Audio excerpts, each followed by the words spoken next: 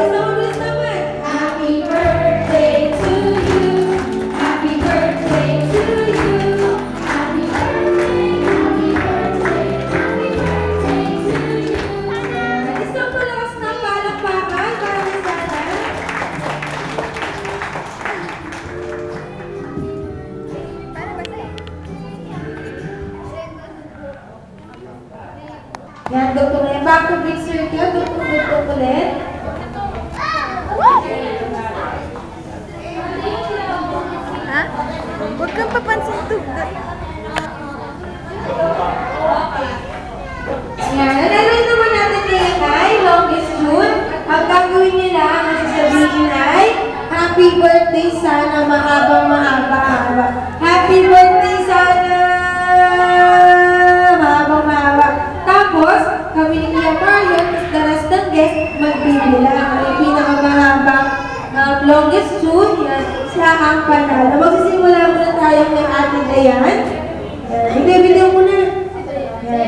Happy na yan.